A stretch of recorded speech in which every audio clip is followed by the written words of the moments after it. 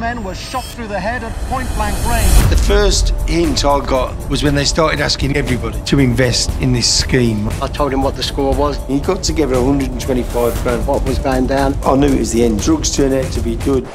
They took a lot of drugs. Tate had double crossed them. Everyone could see it coming. They're upsetting wrong people, There was a lot of people queuing to waste them. and if anything goes down, someone creeps up behind you and goes bang in the back of the head, don't be surprised. For nearly 30 years now, there's been conspiracy theory after conspiracy theory. These criminals had no idea what was going on.